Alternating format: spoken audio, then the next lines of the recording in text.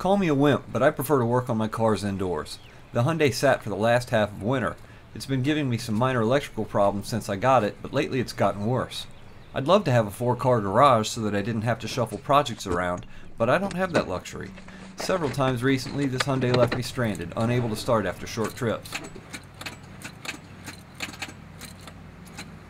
It's okay because I needed the exercise, but since it runs fine once it's started, I know it's not the alternator. Something's wrong with the charging setup on this battery relocation job. It was wired with a 4 gauge main that's been getting really hot.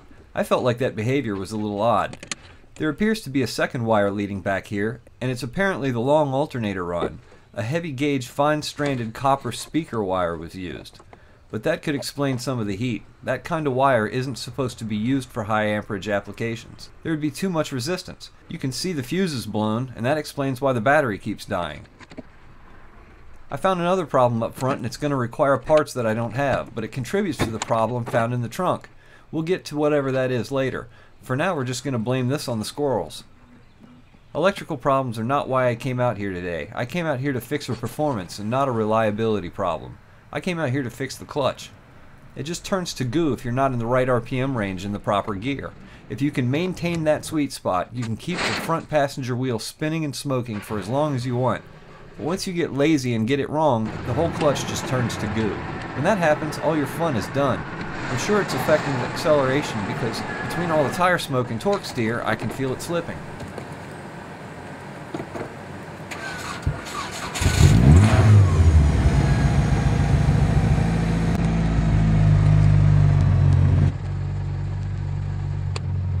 I've already had my hard knocks working in gravel driveways, on city streets, during a blizzard, and even the 105 degree summers. Maybe I'm just getting old.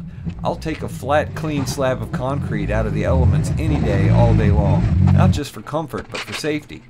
Aside from this update, everything in this video is stuff that I've done before in detail, but on an all-wheel drive second generation GSX. This car has the same engine, but the transmission is front-wheel drive. I don't have to mess with the transfer case, and I don't need to unbolt the jack shaft for the driver's side front axle. Aside from that, the torque specifications, fasteners, seals, and service parts are all the same unless otherwise noted. You first remove the intake, upper intercooler pipe, and any vacuum lines that are in your way.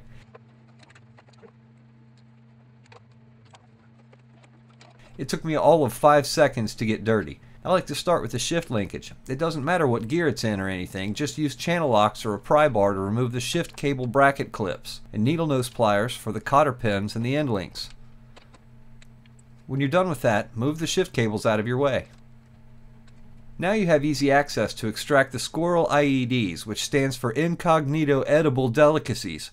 Sometimes their irresistible penchant for hiding food is counterproductive. With those things out of the way, remove the speedometer cable or sensor. Now to remove the axles. After you get the wheel out of the way, there's little difference in the process here. 32mm axle nut which should have a cotter pin. 1G lower ball joints face up, 2G ball joints face down. The 2G has a trailing arm that you don't have to remove, and a strut fork that's bolted to the lower control arm. 1G cars don't have these parts, but on a 2G, you just remove the lower fork bolt to separate the strut from the lower control arm. A properly installed lower ball joint should put up a fight. I never use a pickle fork unless I'm replacing the boots on the lower ball joint, because a pickle fork just destroys them. The best method I've always had success with is to lift the hub assembly to load up the front suspension and hit the side of the lower ball joint with a hammer. Work on one side, then the other. It loosens up the tapered parts, and the loaded suspension helps them pop apart. Once the hub is loose, pull the outer axle joint free from the hub. I have some axle plugs left over from a transmission purchase. I'm glad I saved these. Use a small pry bar to pop the axle out of the center differential. Rather than draining the gear oil, I'm just going to plug up the seals. If you don't drain the gear oil, you'll leak a little bit out. Clean up any oil that's spilled and move on to the other side. These security lug nuts are terrible. I hate them. The key fits loose and causes torque loss and heats up the socket as it bounces around. I just wanted you to see that this cordless impact still makes short work of Rusty C's lug nuts and has no problem with axle nuts either. Normally I use air tools for this. I put axle lug nuts and washers back on the wheel studs so I don't kick them around while I'm working.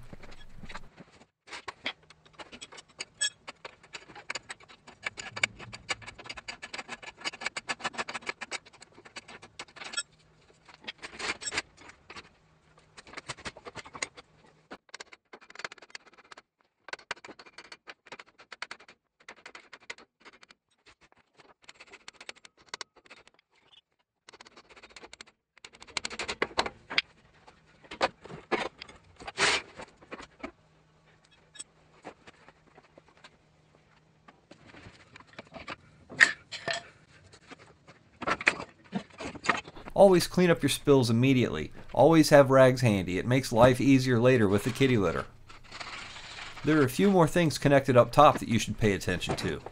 There's a ground wire that's bolted to the passenger frame rail. I put the bolts back in the frame rail so they don't get mixed up in all the others. There's a reverse switch that we unplugged earlier. They love to get broken, and they always do if you don't remove them prior to pulling the transmission. A deep well 24mm socket is needed here. Put it somewhere that it'll stay clean and safe. This car's coolant overflow system hangs over the transmission mount, so I'm going to move that out of the way first. But before we take any of the mounts loose, I'm going to remove the clutch hydraulics. It's a piece of cake, two bolts. The only thing you should look out for is not to let the rubber boot and the push rods separate from the cylinder. If you do, it will leak hydraulic fluid everywhere and allow air into the clutch lines. Now we just need to remove the transmission mount, the starter, and the bell housing bolts. We already know how bolts work.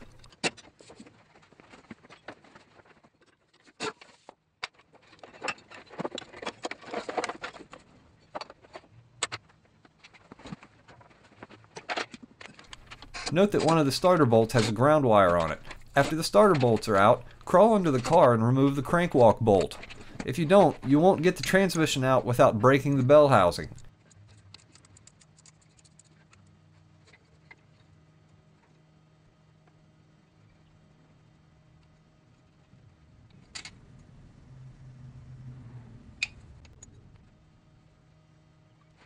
Pull the starter free from the flywheel. Now remove the rest of the bell housing bolts. At this stage, nothing is connected to the chassis or the engine.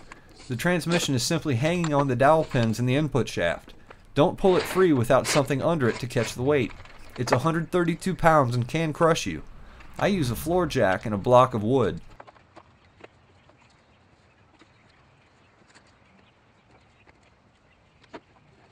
A pry bar helps to separate it easily and the best pry spot is across the bottom of the bell housing against anything solid on the firewall.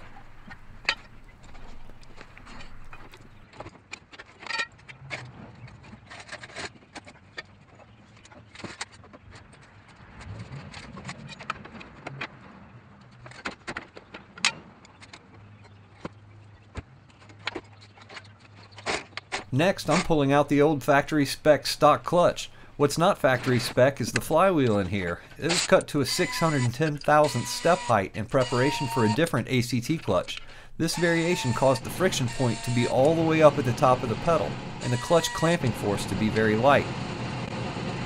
Just to prove that the 6 bolt and 7 bolt clutch parts don't matter, I'm going to use the clutch that I had on my GSX in the Hyundai. It's an ACT MB10 Extreme 2600 pressure plate, and I'm going to use the same almost new street disc as well. I don't think the GSX will need this once I'm done with it. I like to give a used clutch and flywheel a quick pass with a Scotch-Brite pad, using light pressure just to leave a lightly honed surface on both the flywheel and the pressure plate. You need a Ford 20 clutch alignment tool. Slap the pressure plate on there, and I like to run the clutch bolts down a quarter turn at a time by hand, making sure nothing's binding up. I use a big socket because it's easier to grip. Next I go around the clutch bolts in a star pattern until they're all flush. Clutch bolts get only 14 foot-pounds of torque. Torque them in a star pattern, and when you're done, remove the clutch alignment tool.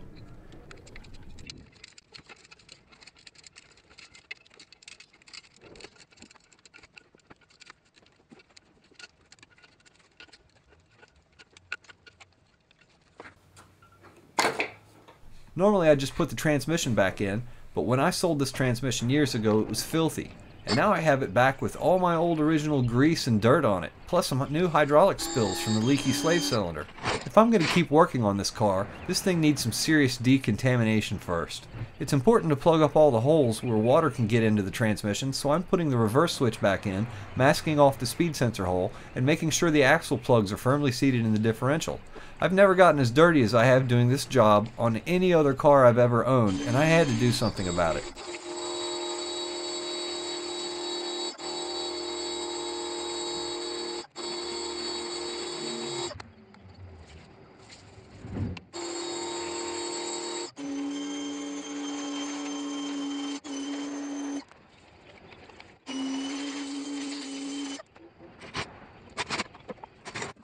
It's really important to thoroughly dry the transmission because there are a lot of untreated cast iron parts that will rust.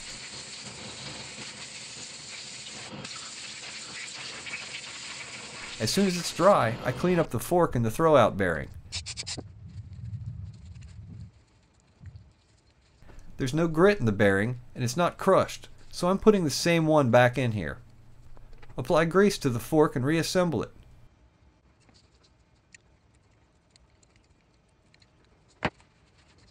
Grease the inside of the throwout bearing. Grease the pivot ball, the input shaft, and the sleeve.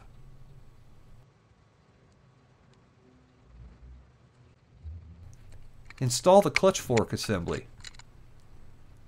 I didn't shim the pivot ball because the fork rested in a good position in the fork hole. Also, the high friction point in the pedal could be raised even higher by doing this. So I'm hoping the correct clutch for this step height actually moves the pedal's friction point back down to where it should be. Only time spent finishing this installation will tell. I use the long starter bolts as guide bolts for the top of the bell housing and pry the transmission back onto the block against the inner frame rail. Use a rag between the pry bar and the frame if you care about scratching the paint. I don't care, would you? Run all the transmission bolts down. On a 1G, there's only 4. They get 35 foot-pounds.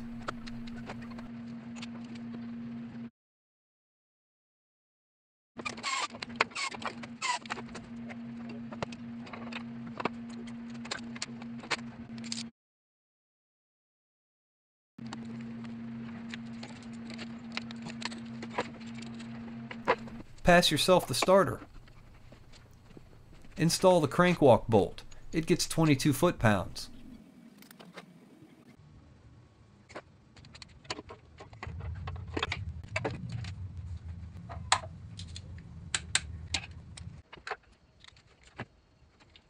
Screw in your speedometer cable. Install the starter bolts. Make sure you hook your ground wire back up. The starter bolts get 25 foot-pounds. Next we have the transmission mount bolts. They get 43 to 58 foot-pounds.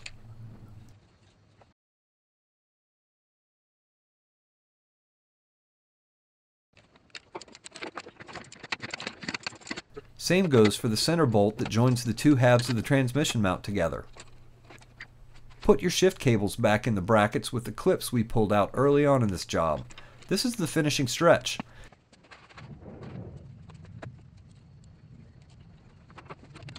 Install your shift cable end links with the washers and always use new cotter pins.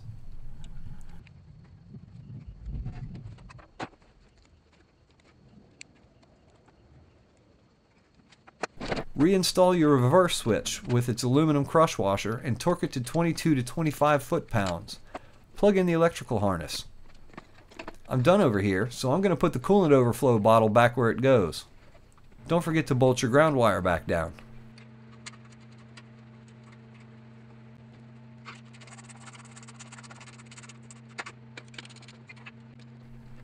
Put your intake assembly and upper intercooler pipe back on. This is usually easy if it's just all factory 1G rubber hoses and snorkels with worm gear clamps. It works fine on a Turbo Eclipse, so it's good enough for my Hyundai.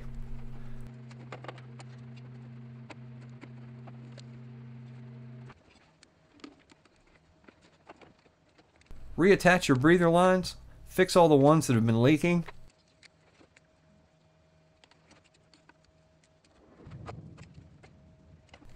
reconnect the blow-off valve, reconnect the bypass tube, put your axles back in and your hub assemblies back together.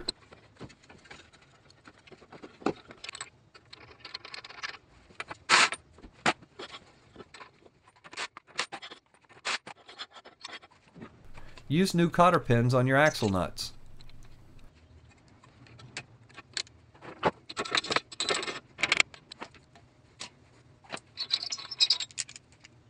Putting a floor jack under the rotor and loading up the suspension helps you honk down the lower ball joint nuts.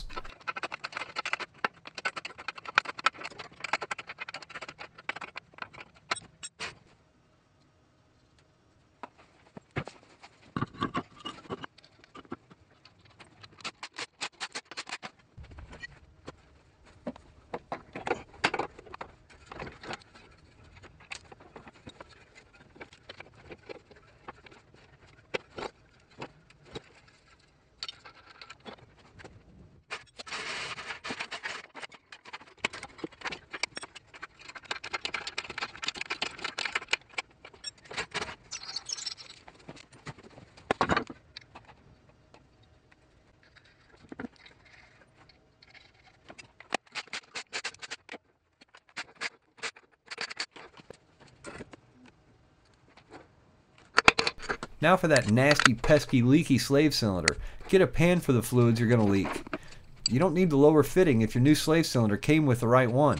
But if you've removed the slave from the transmission, you'll need the right pliers to grip it with. A standard open-end wrench may strip the small fitting on the line, so you're supposed to use a line fitting wrench. I found that most 10mm line fitting wrenches jaws spread and slip, still leaving you able to strip the fitting. If this happens to you, grab two pairs of vice grips and install them offset for the direction you need to turn the fitting.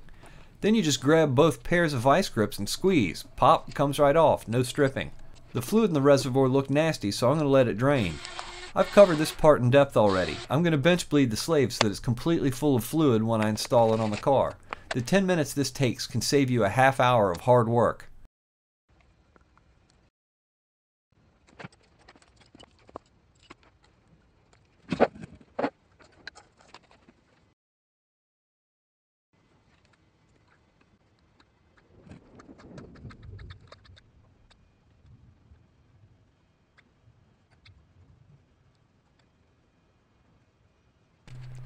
Now to install the slave. Install the clutch line and the two bolts that attach it to the bell housing. These bolts get between 11 and 16 foot-pounds.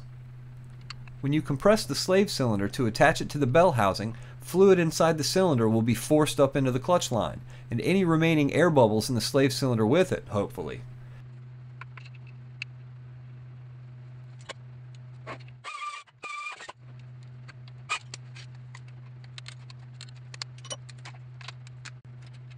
So now you just crack the bleeder screw open and fill the reservoir, letting gravity take effect. Make sure all of your other fittings are tight beforehand.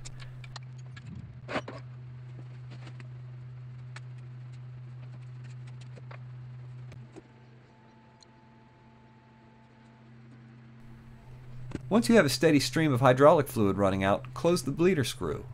This method just allowed me to bleed the clutch without anyone else's help and with no pumping. Just wanted you to see that this was possible without any special tools that you can't make for yourself.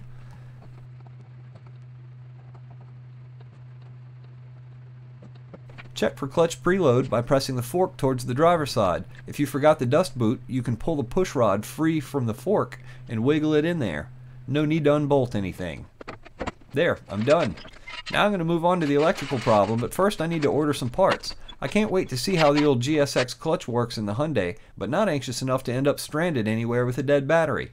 I'm long overdue for having a car leaving this garage under its own power. Thanks for watching, guys. Feel free to comment and stay tubed.